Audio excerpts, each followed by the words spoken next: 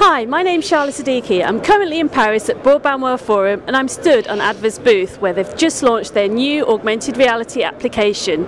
You may have seen a sneak preview of this application on YouTube already.